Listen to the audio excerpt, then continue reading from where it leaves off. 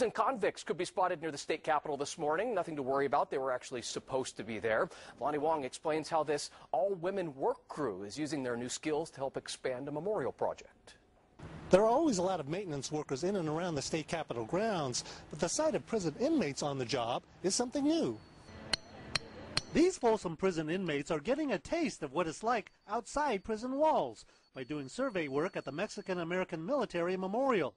Guarding trainees in the Prison Industry Authority program is a breeze. I've had no major problems with any of the offenders outside the public at all.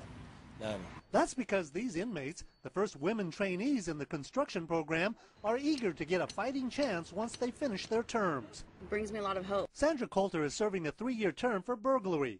When she completes her training as a construction laborer, which includes laying concrete, she'll get an apprenticeship in the laborers union. It encourages us and inspires us to want to do something different with our lives and be able to take care of ourselves and our children. The construction training program is offering to do expansion work at the memorial. Instructor Ray Borgeson said his view of women workers has changed. I thought uh, they would be difficult to work for, but actually they're very particular and they're very precise, and they do a very, very thorough job. With the economy turning around and construction picking up, these women inmates know that they have a great opportunity once they get out of prison, and they plan to make the most of it.